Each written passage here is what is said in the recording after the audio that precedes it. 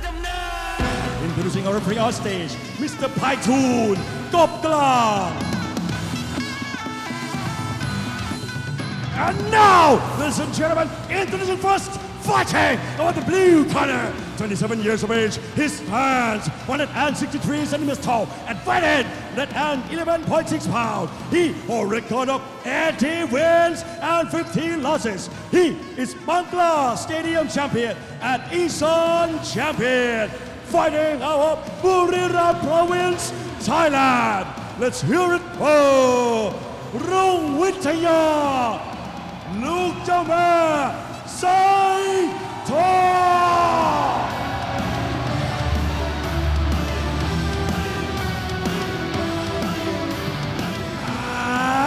His opponent fighting on the red corner, 22 years of age. He stands 165 centimeters tall and weighing 112 pounds. He holds a record of 44 wins, 5 losses, and 1 draw. He is a former Lumini Stadium minimum weight champion and former Rajadamnern Stadium minimum weight champion and current Rajadamnern Stadium flyweight champion. Fighting of Yokohama, Japan. Let's hear it for Nanaga Era Sport Jam!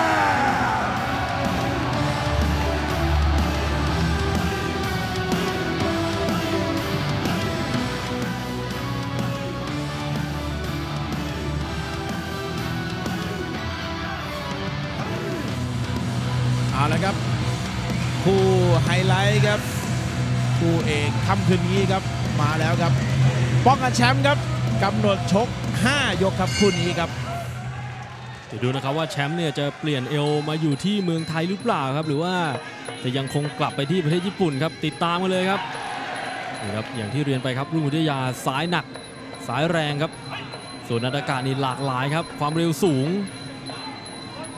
นี่ก็เป็นนักชกที่รอบจัดอีกหนึ่งคนครับนัดากานี่โอ้โหหลังๆเนี่ยไม่แพ้ใครเลยนะครับ หลังจากที่เขาแพ้ให้กับอีสานใต้สิทธิ์เชฟบุญธรรมครับ หลังจากนั้นนี่ก็ไม่แพ้ใครอีกเลยอืมก็ถือว่าเป็นนักชกที่คลองสถิติมาโอ้มากมายครับไฟท์ที่เขาชนะครับ ส่วนรุ่งวิทยาครับช่วงหลังนี่ก็ถือว่าสดจากไร่เช่นเดียวกันครับ ฟอร์มไม่แพ้กันครับ ซึ่งก็เลยทำให้ได้มีโอกาสขึ้นมาชิงแชมป์ในวันนี้ครับ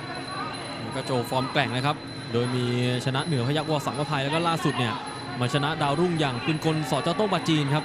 ทำให้ได้มีโอกาสในการขึ้นมาท้าบัลลังก์ครับกับนาดากะเอาครับเตะซ้ายไปพยักหน้าอีกทีหนึ่งครับจากทางด้านนาดากะครับ ถามเทรนเนอร์ที่ญี่ปุ่นครับนาดากะ เขาบอกว่าอยู่ที่ญี่ปุ่นเนี่ยต่อยตั้งแต่ 110 ถึง 122เลยนะ ไม่มีคู่ชกเลยอะแล้วก็ด้วยความเก่งกาจของเขาแหละครับ จำเป็นที่จะต้องเดินทางมาหาความท้าทายที่เมืองไทยนี่ครับรุ่งวิทยาซ้ายยาวๆครับอ้าวคู่นี้เนี่ยซ้ายเจอซ้ายเลยนะครับนาดากะนี่ผสมผสานครับระหว่างมวยไทยคิกบ็อกซิ่งครับแล้วก็ในเรื่องของคาราเต้ครับดูจังหวะการออกอาวุธของเขาครับนะก็เป็นพวกคาราเต้คิวคุชินครับ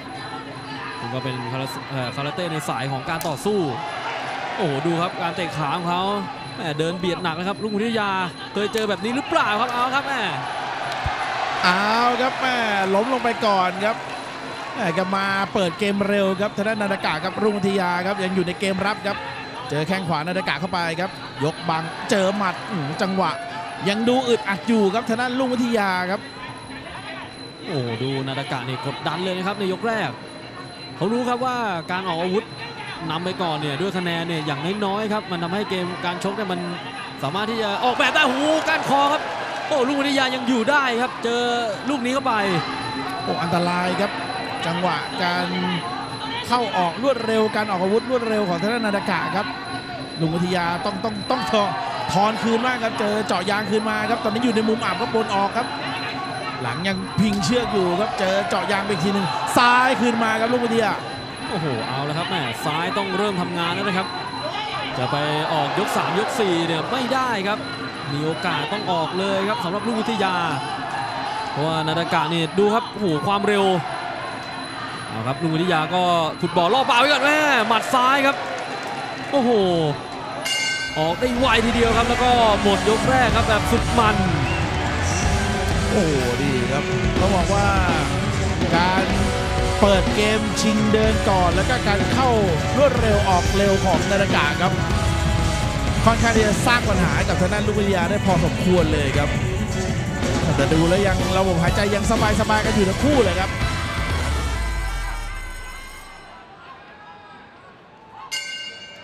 กลับมาติดตามครับ ผ่านพ้นไป 1 ยกครับกำลังจะขึ้นยกที่ 2 ครับอ่าครับ ตอนนี้นี่ เหมือนว่ากำลังทีมงานกำลังหายางกันฟันอยู่ครับ เครื่องเป็นเครื่องอุปกรณ์ป้องกันครับ ต้องใช้ต้องใส่ครับไม่งั้นนี่อันตรายครับครับอะเดี๋ยวมาลุ้นคะแนนกันครับ มีโจทย์ให้ทั้งคู่คือเอาแล้วครับอะเป็นทางด้านนาฬิกาครับ ออกนำไปก่อน 10ต่อ9ทั้ง 3 เสียง ยกนี้นี่จะไปเสื่องซึมครับ ช้าไม่ได้แล้วนะครับสำหรับทางด้านรุ่งวิทยา แล้วก็ที่สำคัญคือ คะแนนเนี่ยเห็นอยู่แล้วครับชกที่นี่ครับ เราจะรู้ทันทีแบบเรียวทางเพราะฉะนั้นแล้วการวางแผนในการชกนี่ต้องอาจจะมีการปรับเปลี่ยนเปลี่ยนแปลงทุกวินาทีครับที่แน่ตอนนี้เดินอีกแล้วครับโอ้ตัดล่างล้มลงไปครับทางด้านนาฬิกาครับโอ้ก็เดินเร็วและเดินดีครับไปล้มนั่งยืนเลยเริ่มที่จะฉายแววแล้วนะครับทางด้านนาฬิกะยกนี้นี่ดูว่ามุ่งมั่นตั้งใจครับออกซ้ายหน้าไปก่อน โอ้ดูเตะหนักมากครับ เตะเร็วด้วยครับดูครับย้ำไปที่ต้นขาของลูกวิทยา โอ้แล้วลูกวิทยาเนี่ยเป็นมวยที่เครื่องร้อนช้านะครับโอ้ต้นๆเนี่ยมันทำให้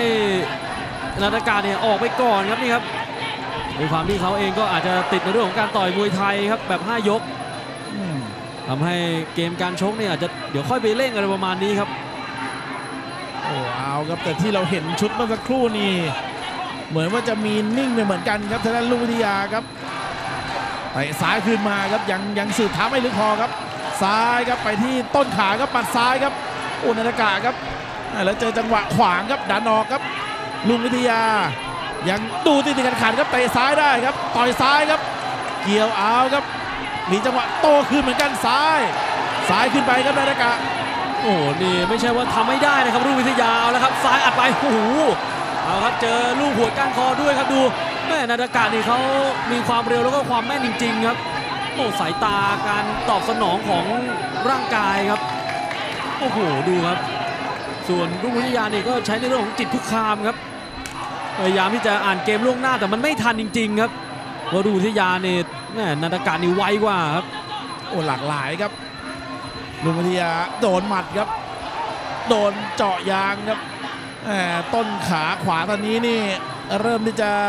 มีรอยไหม้ให้เห็นแล้วครับโอ้ต้องต้องเอาคืนบ้างครับลุงวิยาครับรับเยอะไม่ดีแน่ๆครับซ้ายครับเอาครับแต่เจอเกี่ยวล้มลงไปโอ้นี่ครับปฏิกิริยาตอบสนองร่างกายครับนาฬกานี่รวดเร็วมาก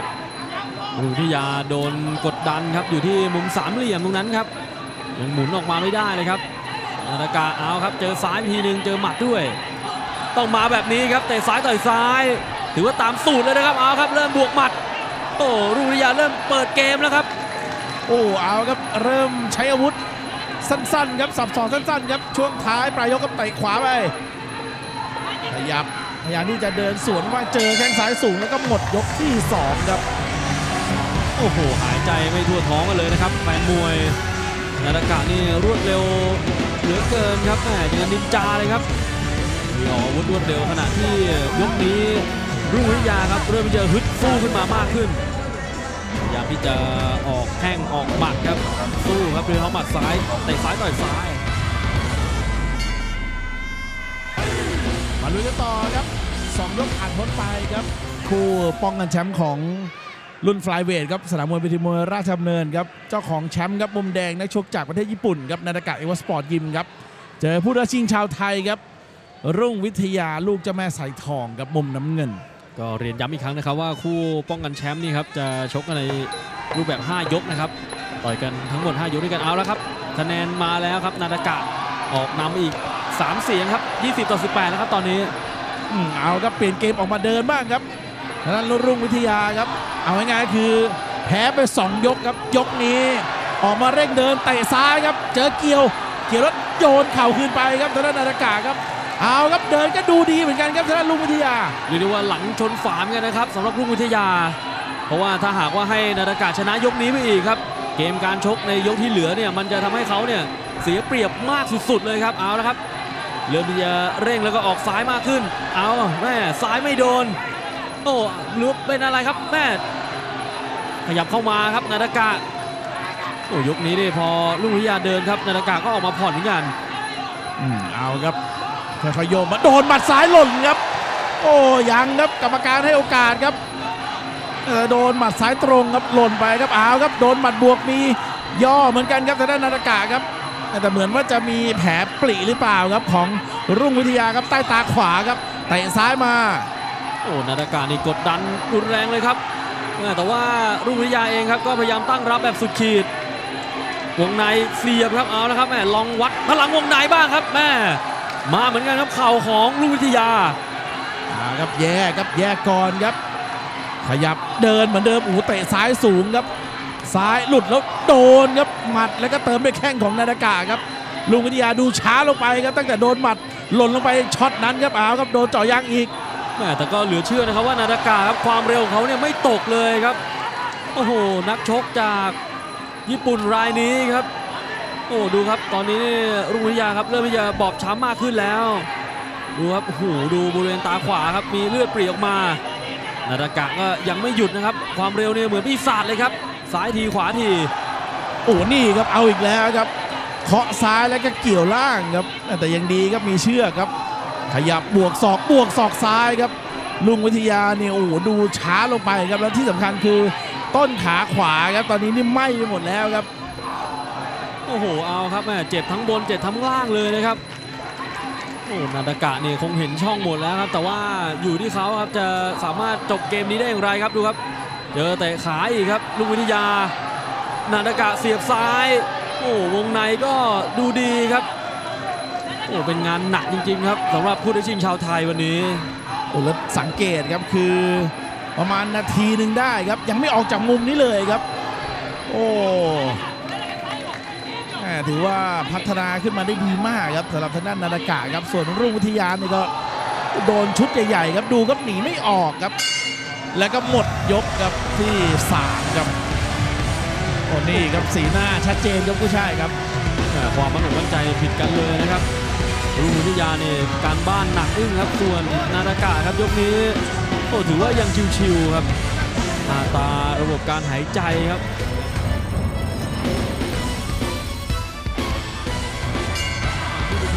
ราชดำเนินครับโฮมออฟไทยทำแห่งยกที่ 4 แล้วนะครับ กับผู้ป้องกันตำแหน่งแชมเปี้ยน รุ่นไฟเวทของนาฏกะเอวอสปอร์ตยิมครับเจอกับผู้ท้าชิงรองแชมป์อันดับ5จากบุรีรัมย์ครับอย่าง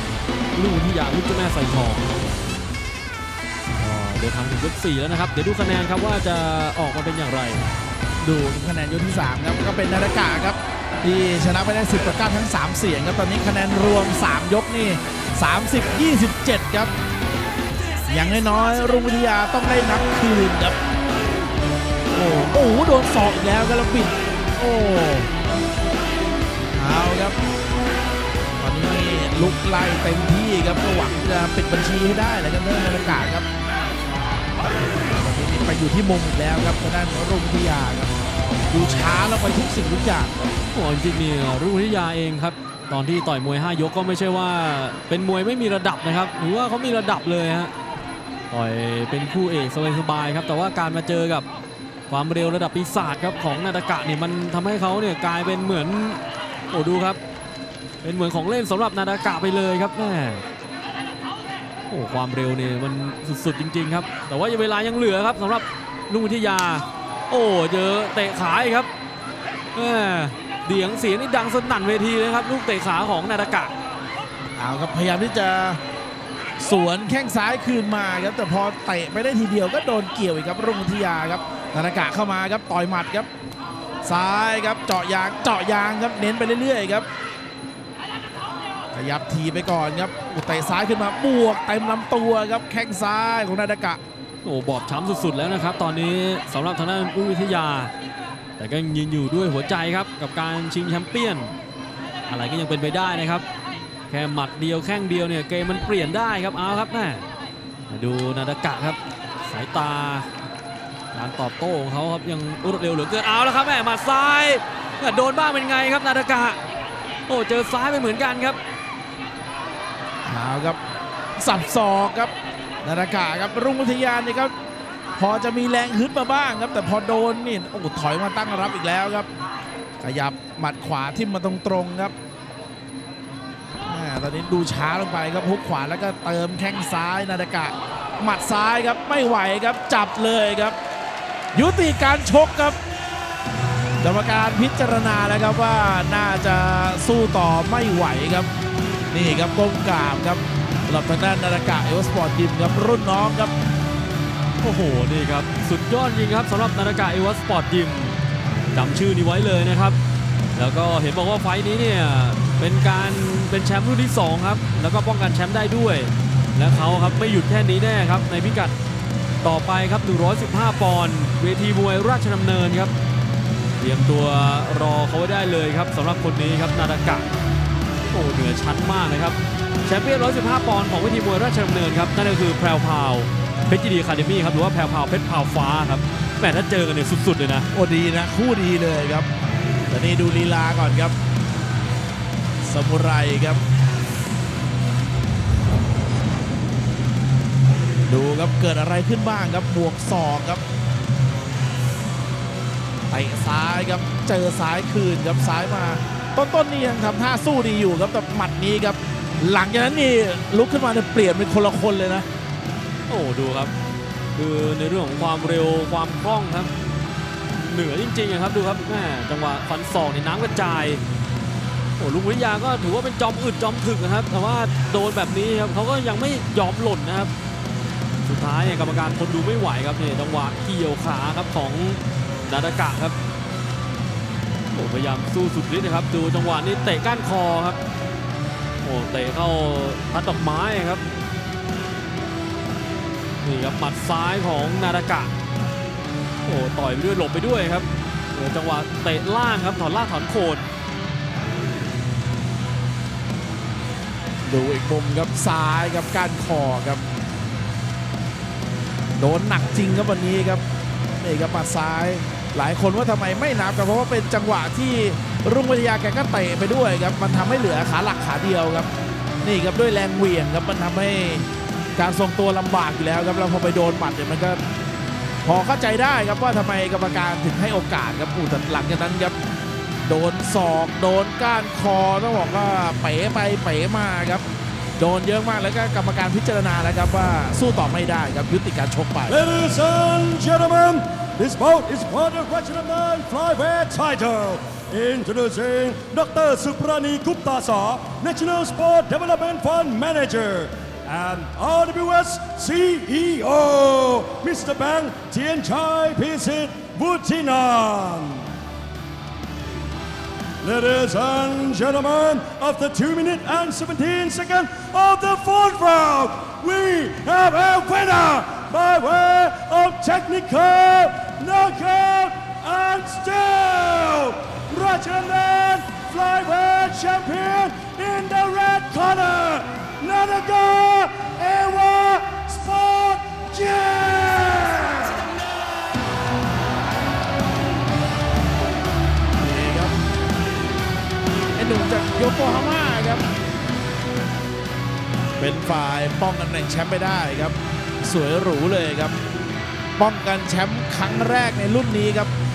112 ปอนด์และก็สามารถป้องกันแชมป์ได้สำเร็จครับนี่ครับโฉมหน้าของนาดากะเอวะสปอร์ตยิมครับ